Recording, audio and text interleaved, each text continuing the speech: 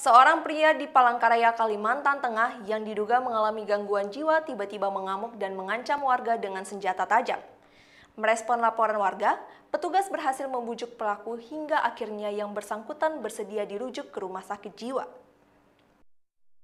Tim PPRC Direktorat Samapta Polda Kalimantan Tengah mendatangi rumah salah seorang warga yang mengalami gangguan jiwa di Jalan Sanang, Kelurahan Sabaru, Kecamatan Sebangau, Kota Palangkaraya.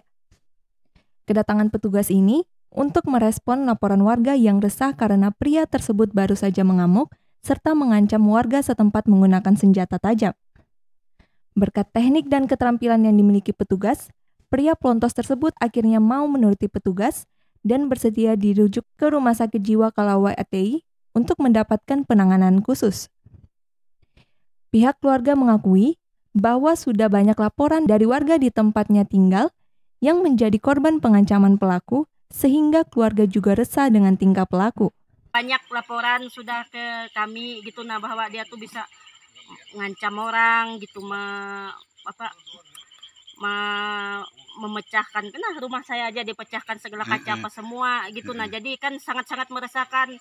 Tadi aja sampai dua kali gitu ma mana orang pakai pisau iya. bawa senjata tajam. Jadi itu yang sangat meresahkan sekali. Jadi gang jadi itu yang membuat suami saya tuh anu gak anu pak suami saya itu kan resah juga kan kena laporan orang juga masyarakat di sini menerima dan merespon laporan masyarakat tentang adanya gangguan orang dengan gangguan jiwa yang terjadi di Jalan Senang di daerah Lingkar Mahir Mahar dan kebetulan yang bersangkutan membawa senjata tajam.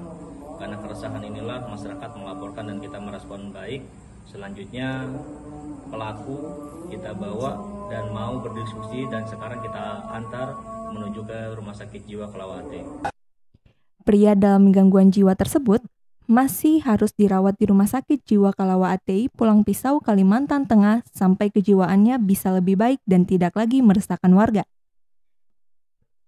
Dari Palangkaraya, Kalimantan Tengah, Adesata Ainus melaporkan.